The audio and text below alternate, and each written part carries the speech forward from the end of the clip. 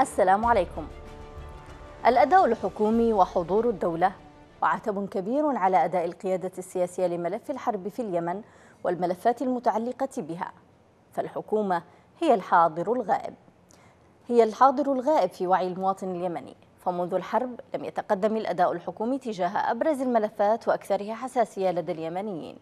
تغير رئيس الوزراء وتفاءل الناس بتغير الحال لأن الحكومة السابقة لم يكن لها أثر في الشارع ولا في مصالح الناس. لم يتم تفعيل المؤسسات والوزارات الحساسة التي لها علاقة بالمقاومة والميدان ومصالح الناس وعلى رأسها الدفاع والإعلام والصحة. وهو ما يظهر جليا من خلال تفاقم أزمة الجرحى والفشل الإعلامي وعدم وجود قيادة لوزارة الدفاع. فعام ونصف من الحرب والخدمات الطبية والأمنية غائبة كليا والجرحى العسكريين والمقاومة وجرحى القصف للميليشيات الانقلابية من المدنيين يعانون الأمرين خصوصا في تعز. لم يتم توفير, الأجه... توفير... توفير الأجهزة الطبية للمستشفيات. لم يتم توفير مستشفيات ميدانية كمستشفى عسكري بديل. أما فيما يتعلق بالدور الإعلامي في وقت الحرب يتساءل الناس عن أداء المؤسسات الرسمية ومدى فعاليتها أمام التجريف الحاد الذي مني به الإعلام الموازي والمؤازر للشرعية والإعلام الحر على حد سواء ما هي الملفات التي تعمل عليها لإيضاح الصورة أمام الناس والانتقال للميدان أكثر؟ تم تعيين محافظين وقيادات عسكرية وآخرين تعيينات خارج الإطار الجغرافي للدولة ومسرح العمليات وبدون تمكين وإمكانيات أيضاً ناهيك عن عملية اختيار المسؤولين وفق معايير حقيقية. ليس للحكومة أيضا مكتب فني في اليمن أو غرفة إدارة أزمات. كما أن الحكومة والرئاسة لم تعلن حالة الطوارئ أو تعلق الدستور. ولم يسمع المواطن أنها أعطت صلاحيات المحافظين بالتصرف في القضايا المناطة برئيس الوزراء أو رئيس الجمهورية على اعتبار أنها حكومة منفى. على اعتبار أنها حكومة منفى. ترتفع أصوات الشكوى كثيرا من قبل المساندين للشرعية. فمتى تستجيب؟ وما هي مخاطر استمرار الحرب والخذلان معا؟ والسؤال الأهم من كل هذا وذاك متى تعود الدولة؟ مشاهدينا الكرام دعونا نذهب لمشاهدة هذا التقرير وبعده سنعود لبدء نقاشنا في المساء اليمني لهذا اليوم.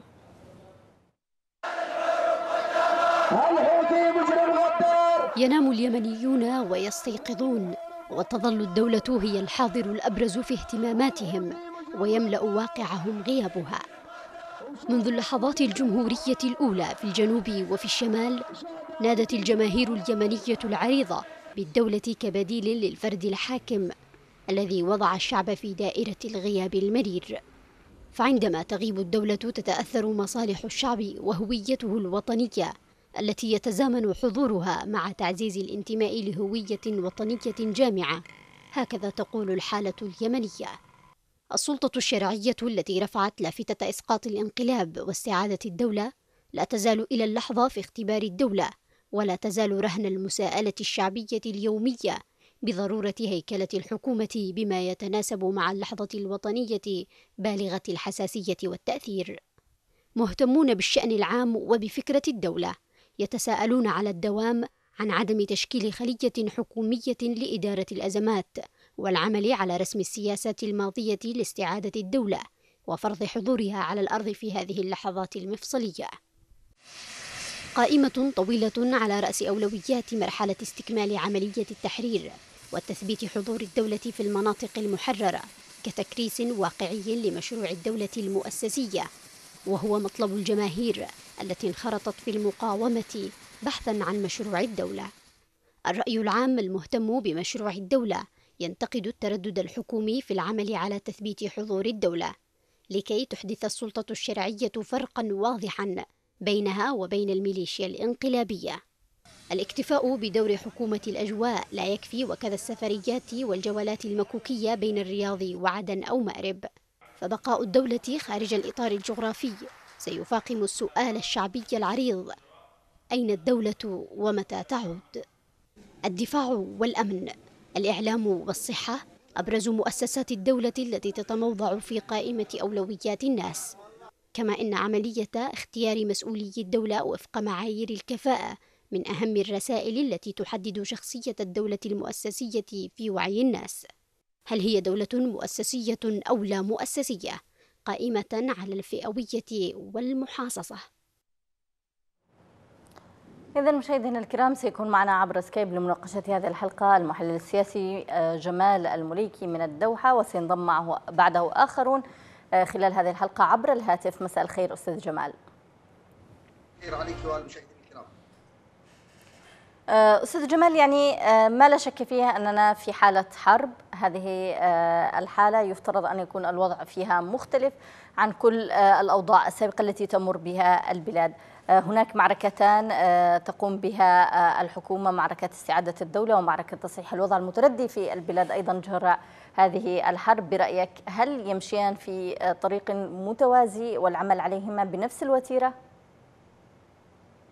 وأنا باعتقادي أن هناك إشكال في الاستراتيجية منذ اللحظة الأولى كنا نقول وأنا أتذكر أنه منذ ليلة عاصفة الحزم والليلة التي تليها ونحن حاولنا أن ندق جرس الانذار وسائل الإعلام لأنها الوسيلة المتاحة أمامنا كباحثين. فكنا نقول دائما أننا بحاجة إلى غرفتي عمليات. الغرفة العمليات الأولى هي أن تتشكل عملية غرفة عمليات عسكرية على الأرض تنخرط تحتها كل أشكال المقاومة. لأنه حدثت إشكاليات كثيرة. كان سببها الرئيسي هو عدم وجود هذه غرفة عمليات تجبر كل الفصائل على الانصهار تحت قيادة واحدة في الشمال وفي الجنوب وبالتالي توجه استراتيجي واحد هذه عمليات عمليات إنسانية. إن هذه حرب لها آه، أعتذر منك أستاذ جمال يبدو أن هناك آه، مشكلة في الصوت آه، لديك ونحن نتحدث في هذه الحلقة التي ربما وطأتها خير توطئة بالحديث عن ضرورة من منذ أول أيام عاصفة الحزم كان لابد من وجود غرفة عمليات عسكرية تدير وعمليات يعني مختلفة تدير المعركة أيضا. عودة إليك أستاذ جمال. يعني إلى أين وصل اليمنيون في كلا المعركتين برأيك؟ معركة سعه الدولة والأخرى تصحيح الوضع المتردي قبل أن ندخل في آه، الانتقادات التي يفترض أن توجه للأداء الحكومي. وأنا آه، أعتقد أن الشارع اليمني أثبت على وجه اليقين أنه أكثر آه، دعيني أقول أكثر إيقاعا وأكثر نعم. تجاوبا مع الأحداث من الحكومة. يعني لو تذكرنا على سبيل المثال اللحظة التي خرج بها الشارع قبل قبل اجتياح صنعاء. خرج الشارع في في صنعاء وملأ وملئت شوارع صنعاء تأييدا للشرعية. ولم يتم الاستفادة من تلك الجموع نهائيا ولم يتم توظيفها سياسيا. هذه النقطة الأولى لو ذكرناها سنجد أن ما حدث بعدها يشبهها كثيرا. أثبت الشارع اليمني المقاوم اليوم في في في جبهات تعز وفي كل الجبهات أثبت أنه أكثر وفاء للشرعية من العكس. نعم. يعني لا لا يشعر المراقب أن هناك آه، مبادرة ما نسميه الوفاء بالوفاء أو مبادرة هذا الصمود بالاهتمام الذي يقتضيه هذا الوفاء وهذا الصمود في الشارع ليس هناك تناغم بين ما نجده من صمود في الشارع المقاوم في اليمن وبين الشرعية وما تقوم به تجاه هذا الصمود سواء من الناحية العسكرية أو من الناحية الإنسانية أو من الناحية الصحية أو حتى من ناحية الخطاب الإعلامي وهناك كثير من النقاط التي ربما نتحدث بالتفصيل عن الجوانب المختلفة. نعم. آه، اسمح لنا أستاذ جمال أن ينضم معنا يعني من الجانب الحكومي محمد الأستاذ محمد موسى العامري مستشار رئيس آه، الجمهورية. مساء الخير آه، دكتور محمد. أهلا وسهلا. مساء النور. حياكم الله. أهلا بك دكتور محمد. يعني بداية يعني هناك اتهامات أو انتقادات حادة لأداء الحكومة في زمن الحرب. بداية هل أنتم راضون عن هذا الأداء أداء الحكومة ومؤسساتها في فترة الحرب؟ بسم الله الرحمن الرحيم. تحية لكم وللجمهور الكريم. قبل أن يعني نتحدث مثلا عن أداء الحكومة وهل هو يعني يقوم على الشكل المطلوب أو أن هناك ملاحظات. بكل تاكيد يعني الملاحظات موجودة والقصور آه، يعني حاصل. لكن ينبغي أن نعلم أننا لا شك نعيش في ظروف استثنائية وغير طبيعية. آه، ظروف الحرب ليست كظروف السلم ظروف ان تكون الحكومة أو يكون كثير من هذا يسوق الوطن. ليس كما لو كانوا آه، يعني مستقرين بكامل قواهم. آه، هناك عاصمة مختطفة هناك انقلاب هناك يعني حرب هناك استنزاف هناك يعني جهود كثيرة. يعني تذهب في في في الحربي في الاقتصادي في الجانب السياسي. اذا نعم.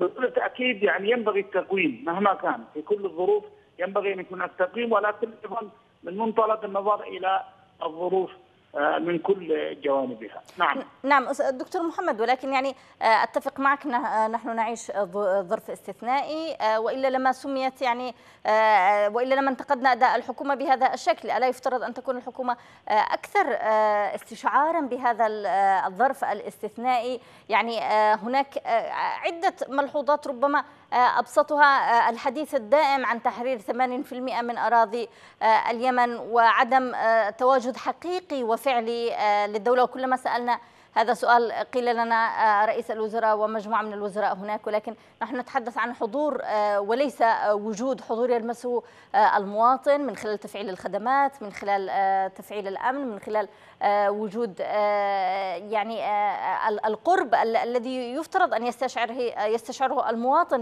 من هذه الحكومة. يعني في نظري بكل تأكيد يعني التناصح مطلوب ولكن ينبغي أن لا يصل إلى حد التلاوم ويعني أو الاتهامات لأننا في صرف يعني مهما كان كل جهه لها ملاحظاتها لكن الآن يعني في ظرف يستدعي تكثيف الجهود ورص الصفوف والالتفاف حول الشرعية والتركيز على العدو. يا دكتور محمد اسمح لي يعني بالمقاطعة. نعم. طبعا لا يمنع من لا يمنع أيضا عفوا. يعني أتفق معك. يعني يعني إن لم نتحدث بهذا الشكل فيبدو يعني كما تحدث ضيفنا في بداية الحلقة الأستاذ جمال مليكي الذي قال أن هناك وفاء من قبل الشعب نحو الشرعية أكثر من وفاء الشرعية نحو هذا الشعب. يعني معروف أن أن هناك التفاف أكبر من قبل الناس كلما كانت هناك أزمة أو حرب هناك يعني انتماء للقادة السياسية الذي يفترض أن تكون هي آه، آه، الأقرب لهم في مثل هذه الظروف. ولكن للأسف الشديد لا تثبت الحكومة وجودها لهذا المواطن آه، وتخذله مرة بعد أخرى في أكثر الملفات حساسية ملف الجرحى ملف الخدمات ملف الأمن الذي يفترض أن يكون يعني ثلاثية يطلبها المواطن البسيط. أنا كما قلت لك على كل حال أنا مع النصف ومع المعاتبه ومع التقويم ومع إصلاح يعني أي اختلالات لكن أنا أقول ينبغي أن لا يكون هناك إسراف في هذا الظرف في جلد الذات وفي مثلا يعني التراشق أو تحميل يعني هناك ظروف كثيرة ينبغي أن يكون المتحدث محيطا بها في كل الاتجاهات، لا أقول هذا تبريرا لكن هناك واقع أيضا نعيشه، هناك حرب، هناك إمكانيات، هناك يعني شحة، هناك يعني مجهود حربي، هناك.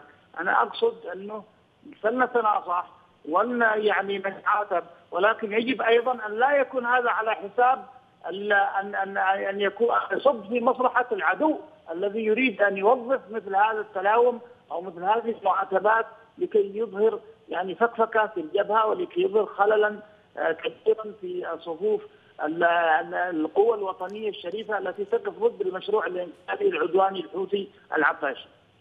نعم إذا هل لديكم خطط لتفعيل الأداء الحكومي أكثر آه، في المراحل المقبلة آه، خاصة يعني بعد توقف المشاورات هل هناك آه، يعني هناك أيضا يعني حديث عن عشوائية لدى الحكومة ألا يفترض أن يكون هناك عمل أكثر دقة في هذه المسائل خصوصا يعني الآن بعد الإعلان عن تصدير النفط هل يعني سيثمر ذلك في تفعيل كثير من الخدمات؟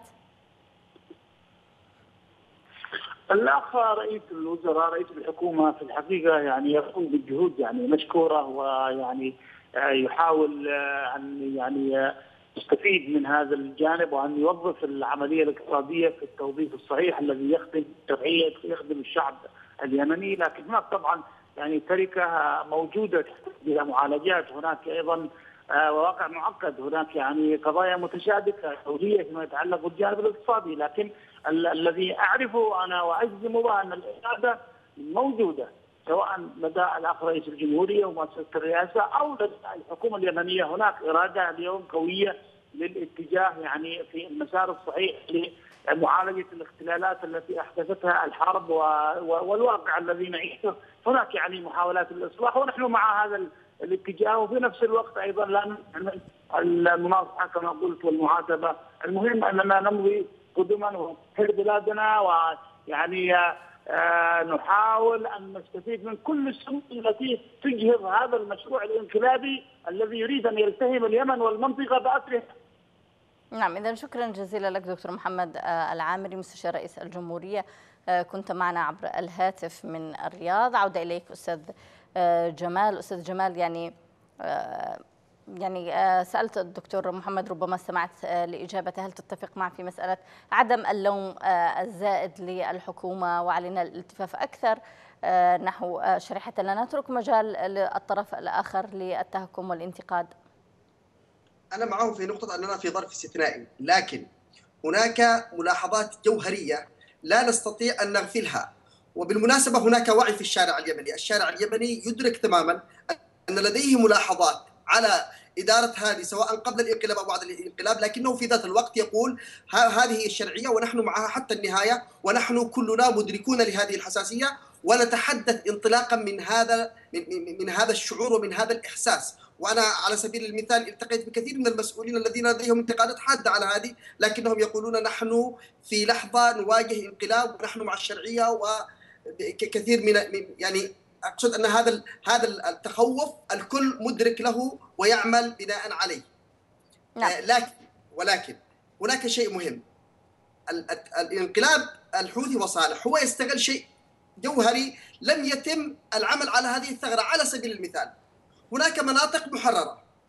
لماذا لا يشعر المواطن البسيط أن هناك ولو من الناحية دعيني أقول وأبالغ وأقول حتى من الناحية الشكلية حضور للدولة في المناطق المحررة. اليوم يتباهى الانقلابيون على سبيل المثال أن صنعاء فيها من الأمن أكثر من المناطق المحررة. هذا هذه هذا هو ما يسمح بالاستخدام من قبل. يعني تقصير الحكومة فيما يمكن فعله هو الذي يجعل الانقلاب يستخدم استخدام يجعل دعيني أقول يجعلهم ينافسوا الشرعية على اكتساب الشارع أو خلخلة مزاج الشارع. أنا تحدثت وحاولت أن أكرر مصطلح وهو روح الشرعية. أنه كما أن هناك للقانون روح.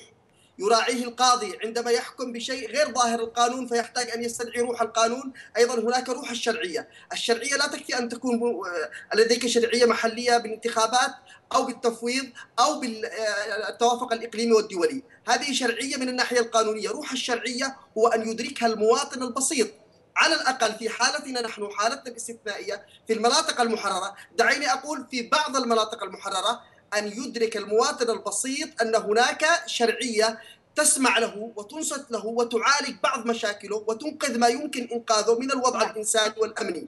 هذا ما لم ما لم نجده.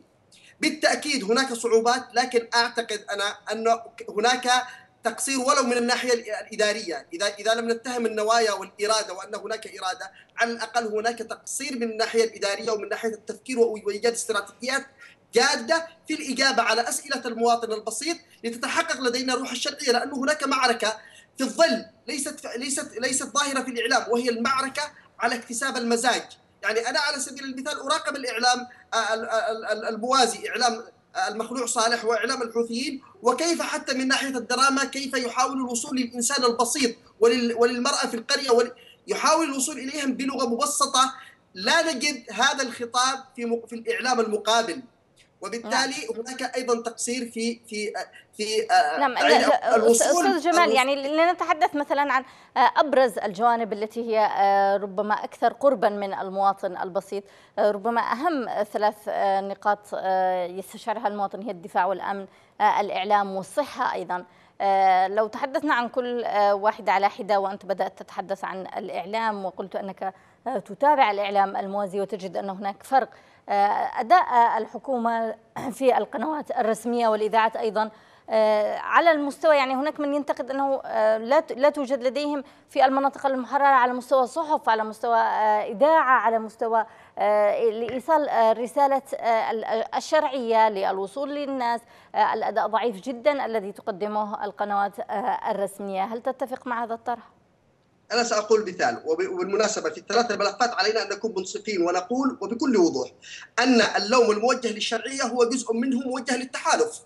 لأنه لماذا؟ اليوم نحن نخوض معركة مشتركة. نحن نخوض معركة دفاع مشترك. وبالتالي التحالف في ملف الإعلام على سبيل المثال. ماذا ماذا تقول الصحف الغربية وماذا يقول الإعلام الغربي عن المشهد اليمني؟ هناك هناك تضليل كارثي. يعني أغلب أغلب الإعلام الغربي يتحدث عن اليمن وكأن هناك غزو سعودي لليمن ويستثني تماما ويستثني تماما آه ما يقوم به هو الحوثيون نعم. هناك ميليشيات اجتاحت العاصمة. أنا على سبيل المثال عندما تم ترجمة فيلم خيوط اللعبة للغة الإنجليزية تواصل معي أكاديميين غربيين وفي جامعات آه، غربية أنه نحن فرحنا بهذا المنجز لأنه لا يوجد لدينا أي مادة عندما نستدل بها على ما يوجد في ليس لدينا أي مادة نستطيع أن نستدل بها، لماذا لا يقوم التحالف بعمل غرفة عمليات إعلامية موجهة للرأي العام الغربي؟ واستطاع الحوثيون واستطاع النظام المخلوع أن يوجد يعني دبلوماسيا واعلاميا ما يضر بالتحالف بشكل أو بآخر. وبالتالي هذه ثغرة مهمة. نعم, نعم نحن قد تحدثنا عن هذه النقطة أستاذ جمال. نعم نحن قد تحدثنا سابقا في إحدى الحلقات عن هذه النقطة بالذات الأداء آه، الإعلام آه، بشكل عام وأفردنا له حلقة خاصة. وتحدث معنا آه، على ما أتذكر أحد الضيوف السعوديين وانتقد فعلا هذه النقطة ووجد أنها سلبية سواء في آه، الإعلام التحالف أو في إعلام الشرعية. ولكن هناك من يطرح أيضا أن إرادة الشرعية للأسف هي مربوطة بإرادة التحالف. لذلك لا نجد لها أداء حقيقي على الأرض لأنها تنتظر فقط ما الذي يعني ستقدمه إدارة التحالف. هل تتفق معي؟ وأنا كيف أنا كمراقب كيف أعرف أن هناك جدية أم لا؟ على سبيل المثال ودعيني أنا يعني أقول وأتحمل مسؤولية ما أقول أنه عندما أجد وزير إعلام الكل ينتقده والكل يقول أنه غير مناسب لهذه اللحظة وتصر الشرعية على أن يكون وزير إعلام. أنا من هنا استشف أنه هناك ليس هناك جدية. وعندما نسال نسأل نجد إجابات يعني يستحي الإنسان أن يذكرها على الإعلام. لماذا تم الاتيان بهذا الشخص؟ سواء وزير إعلام أو قبله كان وزير آخر وزير خارجية على سبيل المثال أو وزير يعني يؤتى بوزراء. ألف باء العمل المنوط به لا يدركه. ومطلوب مننا ان نقتنع ان هناك جديه في الاقتراب من هذه الملفات هذا على سبيل المثال انه يعني كيف نكتشف انه ليس هناك جديه في الاقتراب من الملفات من خلال التعيينات هل هل هي عدم جديه أستاذ جمال ام يعني عدم آه، آه، يعني سماع أيضا للرأي العام وعدم استشعار بأهمية مثل هذا الرأي العام. يعني آه، نلاحظ أيضا ليس فقط انتقاد لوزير هنا أو هناك وإنما أيضا هناك انتقادات للتعيينات الكثيرة والإسراف في هذه التعيينات التي لا توجد فعليا على الأرض. يعني أنت من تعين آه، وكيل لمحافظة ووكيل لوزارة ووكيل لكذا ولا توجد لديك المساحة التي يستطيع أن يعمل فيها هذا آه، الشخص الذي عينته؟ يعني كثير من الانتقادات ليس فقط كما تحدث عن وزراء وإنما عن القرارات التي تملأ بها الارشيف الحكومة ولا تفيد المواطن ولو قيد أنملة. هو للأسف هناك الكثير من الانتقاد لكن نحن نحاول أن نذكر أمثلة. وبنفس اللحظة نحن نتحدث ونحن مدركين للوضع الحساس الذي نحن فيه. نريد فقط ان ان ناقوس الخطر إن كان هناك من يسمع. وإلا فالأمثلة نستطيع أن نسرد من الأمثلة كثير من الأمثلة التي تجعلنا نقلق كمتابعين وكمواطنين قبل ذلك على الشرعية وعلى وعلى خطاب الشرعية وعلى استراتيجية الشرعية في استعادة الدولة، هناك كثير من الملفات المعركه تحتاج إلى إلى غرف عمليات وليس غرفة عمليات واحدة. تعمل على كل الملفات على الملف الإعلامي وعلى الملف الإنساني وعلى الملف العسكري. وفي كل هذه الملفات لا أدري هل كان صوتي واضحا عندما تحدثت في البدايه أنه لا. كان من المفترض أنه منذ البداية أن يكون هناك غرفتي عمليات غرفة عمليات عسكرية. غيابها ما زلنا نشتكي منه حتى الآن وهي غرفة عمليات تكون موجودة على الأرض. بإشراف من التحالف لكن بقوة يمنية تنصهر تحتها كل أشكال المقاومة في اليمين في الشمال والجنوب نعم. حتى لا ينتج عندنا ما يسمى بأمراء الحرب وللأسف الشديد غياب هذه الغرف العمليات غرفة العمليات منذ البداية أدى إلى كثير من الإشكاليات ما زلنا نعاني حتى الآن وفي نعم إذا أنت تحدثت أستاذ جمال يعني عن هذه النقطة آه، كما تفضلت يعني آه، بداية آه، الحرب هناك أيضا أكاديميون كثر منهم الدكتور عبد الباقي شمسان في أكثر من مرة يتحدث عن يعني the room of the war يعني غرفة الحرب التي يفترض أن تكون حاضرة وجاهزة. تحدث أيضا عن كثير من النقاط كثير من الضيوف ولكن لا إجابة. دعني أستمع منك لما هذا عدم إدراك مثل هذه الرسائل التي توجه لهم من ناس أكاديميين ومن ناس مخلصين ومن ناس يعني يريدون آه، للشرعية أداء أفضل آه، بعد هذا الفاصل. أهلا بكم من جديد مشاهدينا الكرام. آه، أستاذ جمال يعني كنت سالتك قبل الفاصل عن الكثير من الرسائل التي وجهت للشرعية سواء عبر الإعلام أو رسائل خاصة أعرف الكثير من الشخصيات المهمة قامت بمراسلة التحالف والشرعية بكثير من النقاط التي يفترض أن تقوم بها لتحسين الأداء ولكن لا استجابة لماذا برأيك؟ والله لا أعتقد أن نمتلك إجابة يقينية لكن هي تفسيرات وأنا في هذا نعم. السياق آه، أستطيع أن أقول انه هناك استمرار للعقلية عقلية إدارية هي موجودة للأسف في المنطقة العربية عموما. ليست هناك ليس هناك توجه للإدارة بعقلية مؤسسية، هناك آه، فكرة الشللية وفكرة القريب الذي الذي يستمع لي أكثر والذي هو أكثر تناغما مع رأيي أنا أقربه. وبالتالي هذه الاشكاليه باعتقادي أنها ما زالت حاضرة حتى هذه اللحظة مع أنه كان من المتوقع أن ترتفع حساسية الفاعل السياسي. ومتخذ القرار والى إلى اللحظة التي نحن فيها وأن هناك تهديد وجودي للدولة وبالتالي كان المفترض أن تتغير عقلية الفاعل السياسي وعقلية من يتخذ القرار بما يتناغم مع اللحظة الحساسة التي نعيشها. للأسف الشديد هذا لم يحصل. هذا تفسير. التفسير الآخر أنه حتى التحالف كان يستطيع أن يكون له دور. دعيني أقول المرشد والمسهل والميسر لأن هناك من القضايا ومن القرارات ما اتخذت بشكل أو بآخر تعذرا بالمال. وبالتالي كان يستطيع التحالف كل ما له علاقة بالمال أن يحل هذا الإشكال لا سيما وانه قد اتخذ قرار بذل هذه الأموال في الحرب وبالتالي كان لا لا, لا يعجزه أن يحل بعض الإشكالات المتعلقة بالمال. فهذه نعم. الزاوية ربما تكون يعني مفسرة لما حصل. آه، إذا اسمح لنا أستاذ جمال أن نشرك معنا في حديثنا هذه آه، الليلة الأستاذ عبد الهادي العزازي المحلل السياسي عبر الهاتف. من عدن مساء الخير أستاذ عبد الهادي. يا مساء النور أختي. أستاذ عبد الهادي كتبت كثيرا وتحدثت آه، عن نقاط كثيرة انتقدت فيها الأداء الحكومي ومدى قصوره في التعاطي مع ملفات الحرب في اليمن من قبل قيادة الدولة. ما هي أبرز هذه الملفات؟ أعتقد أن أبرز الملفات هي كانت قضية الحرب، نحن في بلد على اتون حرب، إلى الآن لم يجري إعلان حالة الطوارئ اولا، ولم نعم. يجري إعادة ترتيب الملف الاقتصادي، اعاده ترتيب مجموعة من القضايا، البلد كانت في حالة حرب، كنا بأمس الحاجة ليس إلى حكومة كفاءات بل إلى حكومة حرب، إلى وزراء بدرجة جنرالات، هذا من من الناحية الأساسية، الناحية الثانية لم نسمع عن أن وزير زار أحد الجبهات سوى الزيارة الأخيرة للرئيس ونائبه ثم لرئيسية الأركان الذي أصبح تحت أشبه بمن يقيم تحت الإقامة الجبرية ما بين مارب ونهم والجوف. ليست نعم. هذه المنطقة فقط التي تشتعل، تشتعل الجمهورية في أكثر من 20 محافظة. الحكومة هنا في دور الغائب، وزارة الدفاع معطلة تماما باعتبار ان وزير الدفاع معتقل لكن أين مستشاري وزير الدفاع؟ أين نواب وزير الدفاع؟ أين إدارة التسليح؟ الأركان، الخدمات الطبية العسكرية؟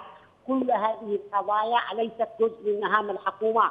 من من الوزراء زار أحد الجبهات مثلا في محافظة تعز إلى اليوم لم أسمع سوى المحافظ الوحيد الذي كان في كان أيضا داخل المدينة قبل تعيينه وهو الذي تحرك داخل هذه المنطقة وكان مكتف الأيدي طوال الفترة الماضية وهو الآن يجري ترتيبات بشكل كبير من أجل إنعاش مسألة المحافظة تعامل معها الجميع كأنها منطقة حكم مستقل أو أشبه بوحدات مستقلة هذا الكلام الحكومة عليها تقصير. وأعتقد أن الحكومة بقيادة الدكتور ربما أفضل بكثير من الحكومة السابقة.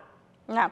طيب أستاذ عبد الهادي يعني كيف تفسر إحجام القيادة الشرعية للبلاد عن عدم تبني بقوة المهام الخاصة وغرفة عمليات إدارة الأزمات والحروب أيضا غرفة طوارئ لم يعلن حتى الطوارئ لم يعلق الدستور لما برأيك هذا التغييب أو هذا عدم الاستشعار بأهمية هذه النقطة مثلا لا لا أدري كيف يفكر المستشارين القانونيين سواء في الرئاسة أو رئاسة الوزراء.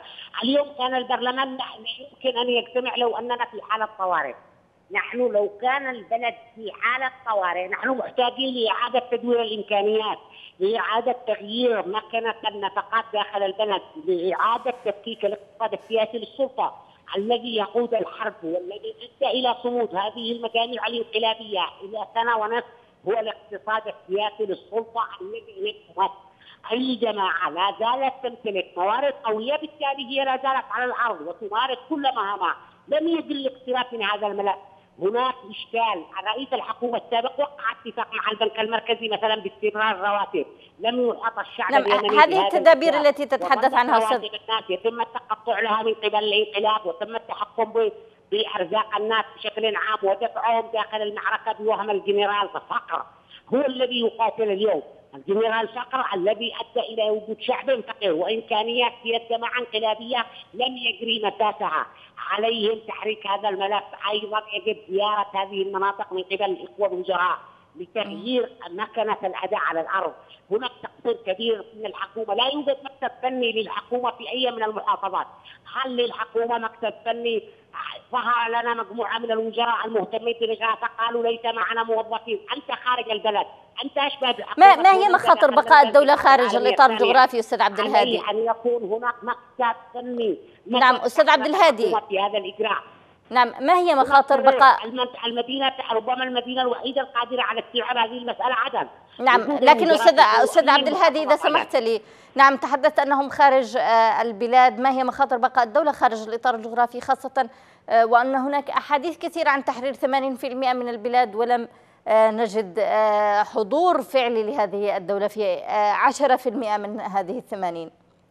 أعتقد أن رئيس الوزراء أدرك هذا هذا هذه المسألة بالذات الدكتور بالزغر كان في عدن وهو الآن في طريقه أيضا خلال الأيام القادمة إلى مدينة عدن. هو في زيارة لبعض البلدان العربية ثم العودة إلى مدينة عدن وهنالك بداية تحريك في ملف الحكومات لنقل الإدارات والوزارات أو مكتبا فني اولا إلى عدن من أجل تمهيد هذا النقل. وأيضا يجب العمل على نقل المركز المالي للدولة والمركز الشعبي أيضا المركز المالي شعبيا يجب نقله إلى عدن بالذات فيما يخص البنوك عملية الاستيراد إعادة ترتيب أوضاع الميناء والمطار. هذه مسائل سيادية تركها لمسألة الجماعة الانقلابية التي تسيطر على ميناء الحديدة. إلزام الأمم المتحدة أيضا بنقل مكاتبها إلى عدن. هذه مسألة أساسية سوف تسهم في تأمين المدينة بشكل كامل. يجب أن يكون هنالك أداء فعلي ويجب أن تعالج الإشكالات المرتبطة مثلا بتصدير النفط وتشغيل الوحدات الاقتصادية الأساسية حتى لا يصبح الفقر مدعاه لابيان الارهاب بقية المناطق واليوم ربما ما هو حادث في أبيان هو جزء من هذه العملية الاقتصادية. نعم ابقى معنا أستاذ عبد الهادي العزازي قليلا سأعود إليك. انتقل إلى الأستاذ جمال. أستاذ جمال يعني تحدث الأستاذ عبد الهادي عن كثير من النقاط التي كان يفترض بالدولة القيام بها خاصة وهو تفعيل مكتب فني كما تفضلوا ربما هذه النقاط قد يعني تناقشنا بها ولكن أود أن أسألك أن هناك كثير من التعليلات للحكومة عن سبب إخفاقها في إدارة الكثير من الملفات خاصة بما يتعلق بالملف الصحي للجرحى وإعادة موضوعات مؤسسات الدولة بغياب الموارد، هل تجد أن هذا التبرير كافي؟ أنا أعتقد غير أنه غير كافي وأنا مطلع على بعض التفاصيل بالملف الصحي على سبيل المثال هناك جهات إقليمية ودولية مستعدة لعمل حتى مستشفيات ميدانية متنقلة. وأنا يعني مطلع اطلاع مباشر على مثل نعم ما الذي يمنعها؟ لا يقف الأمر عند منطقة لا, لا, لا نجد لها تفسيرا. حتى الجهة الممولة تستغرب من ذلك. وبالتالي أنا أعتقد كما قلت في البداية انه هناك أيضا لوم موجه بشكل أو بآخر لعدم تناغم تحركات التحالف مع الشرعية، صحيح أن الشرعية هي هي ال ال ال الأكثر دعيني أقول مسؤولية أخلاقية أمام المواطن اليمني، لكن في الوضع الاستثنائي الحالي الجانب المالي كان يستطيع التحالف أن يساهم فيه بشكل أو بآخر على سبيل المثال نقطة مهمة اللي هي تأمين منطقة لإقامة الحكومة لإقامة الحكومة فيها وانتقال حقيقي جغرافي للحكومة. كان يمكن أن يتم آه، تأمين منطقة بشكل أو بآخر. كان هذا يعني دعيني أقول بقدرة التحالف أن يفعل ذلك لكن كان يحتاج إلى متابعة حقيقية وإرادة حقيقية من الشرعية باعتقادي أنه غاب غاب غاب الأمرين. النقطة المهمة أنه هناك نقاط قوة يعني تفضل الأستاذ عبد الهادي مثلا بذكر النقطة الاقتصادية. هناك نقاط قوة. أنا تحدثت في البداية أنه ليس هناك توجه استراتيجي. أنا في حرب. علي أن أحصي نقاط قوة العدو، نقاط قوة العدو. من أين يستمد قوته؟ من أهم نقاط استمداد القوة هو بقية الموارد التي ما زالت تصل إليه، لماذا لم يتم تشكيل يعني آه، لجنة مهتمة فقط بتفكيك هذه الإشكالية سواء على المستوى الدولي في نعم ولكن عند هذه النقطة أستاذ جمال آه، دائما ما يقف المجتمع الدولي آه، حائلا أمام أي فكرة مثلا لتوقيف البنك الدولي أو لعدم تحويل الأرصدة إلى هناك. هناك أيضا نقل البنك إلى المركزي إلى عدن كثير من النقاط نجد أن الموقف الدولي يقف حائلا أمامها. لماذا؟ دعيني أذكر مثال نجحت الحكومة عندما توجهت توجه جاد فيه وهو موضوع الجوازات ونقل الجوازات إلى عدن. هناك عندما اتخذت الحكومة قرار جاد في هذا الملف استطاعت أن تنجز به إنجاز يعني في الاتجاه الصحيح. بينما في بقية الملفات لم نشعر أن هناك جدية في التعامل معها بل كان هناك تهاون حتى من قبل الشرعية غير مفسر أن يظل البنك المركزي وأن تظل كثير من الموارد تورد إلى إلى حكومة إلى إلى إلى سلطة الأمر الواقع وسلطة الانقلاب هذا كان أمر غير مفسر وربما ظل فترة مخفيا حتى تفاجأنا أن هذا ما يحصل على أرض الواقع للأسف الشديد نعم. لذلك هذا هذا ما لا يستطيع المتابع ولا الباحث أن يتجاهله عندما يجد أن كثير من النقاط البديهية التي كان من المفترض الحكومة الشرعية والتحالف أن ينتبه لها منذ بداية المعركة حتى يتم تقويض نقاط القوة للانقلاب. للأسف هذا لم يحدث ولا أجد يعني تفسيرا مبرر غير ما ذكرته أنه لم ترتفع المسؤولية الأخلاقية لدى الفاعل السياسي إلى مستوى اللحظة التي تعيشها اليمن. نعم، آه، اسمح لنا نعود للأستاذ عبد الهادي، أستاذ عبد الهادي استمعت لطرح الأستاذ جمال خاصة فيما يتعلق بنقص الموارد التي تتعلل بها الحكومة دائما في هذه آه، النقطة واتضح يعني كما تفضل أن هناك الكثير من الداعمين يستغربون حتى لما لم يتحرك مثل هذا الملف، هناك أيضا آه، يعني يقول الأستاذ جمال أن هناك عدم جدية وعدم يعني استعداد حقيقي لدى الحكومة للعودة ولتفعيل موارد الدولة ولتفعيل وجودها الحقيقي في آه، عدن على الأقل وهناك انتقاد أيضا آه، وجهه للتحالف الذي لم ييسر آه، أعمال الحكومة ولم يستطع تأمين منطقة صغيرة تعود إليها الحكومة وتمارس مهامها ما تعليقك؟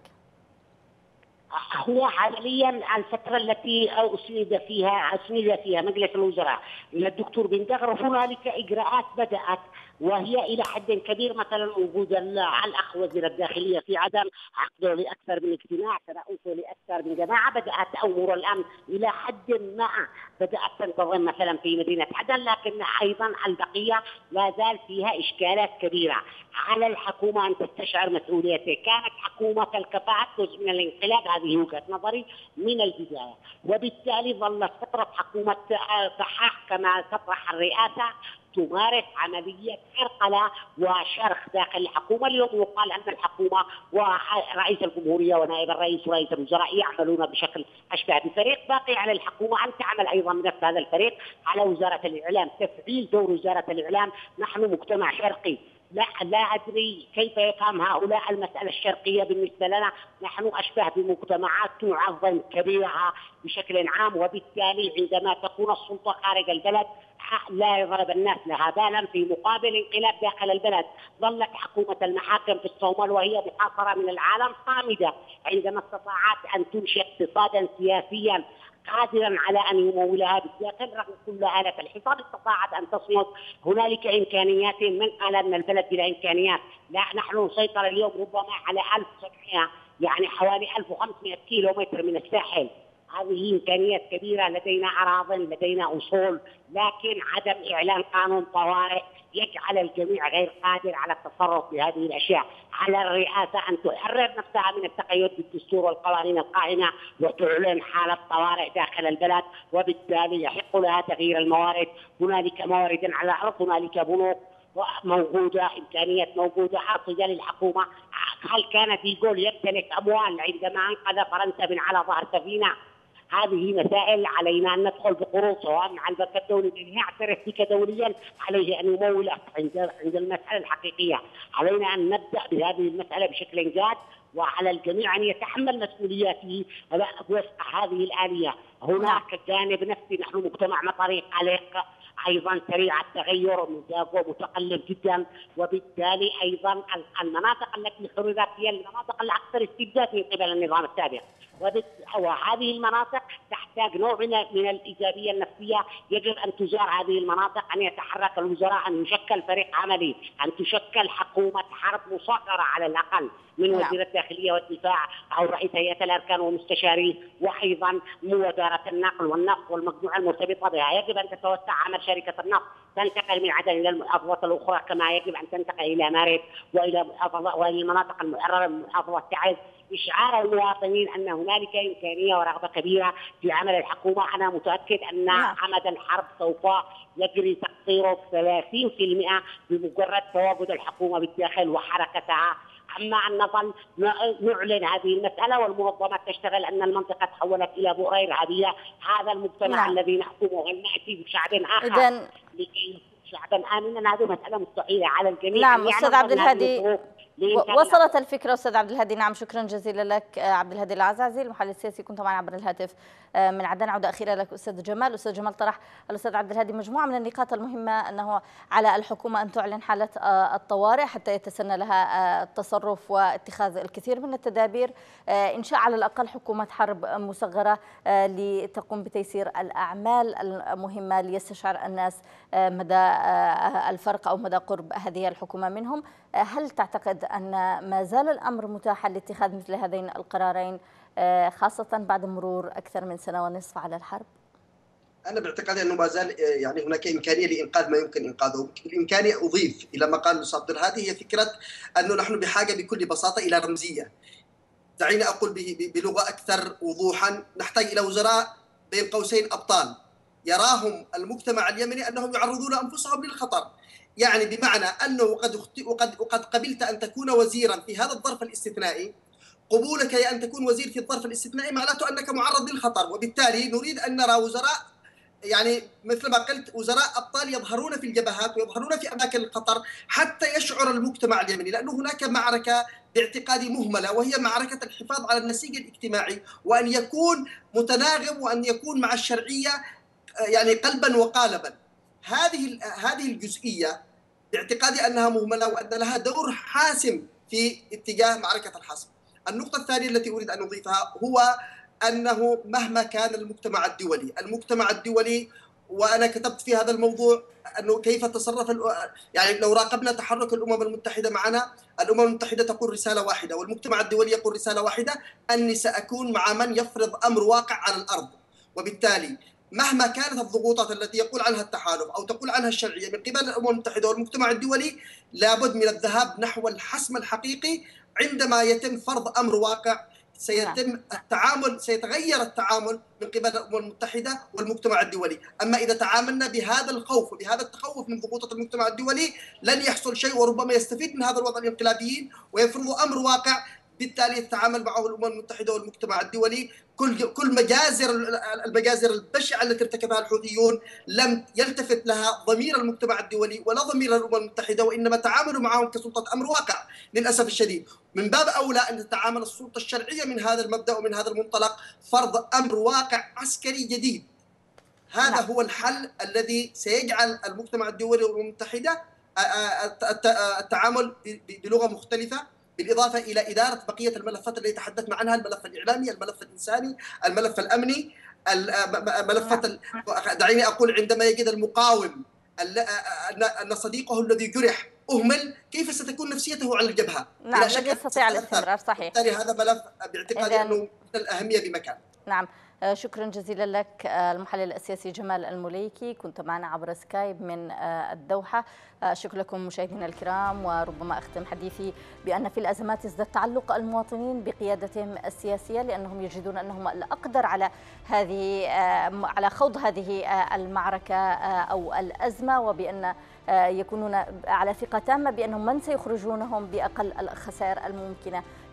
ولكن للأسف لا نجد هذا الأمر مع قيادتنا الشرعية. كونوا أيتها القيادة على مستوى ثقة الناس بكم وعلى مدى التفافهم حولكم وكما تفضل ضيفي في بداية الحديث كونوا أكثر وفاء من هؤلاء الذين يقدمون أرواحهم لأجل هذه الشرعية. شكرا لكم مرة أخرى مشاهدينا الكرام. إلى أن نلتقيكم في مساء من جديد. كونوا برعاية الله وأمنه.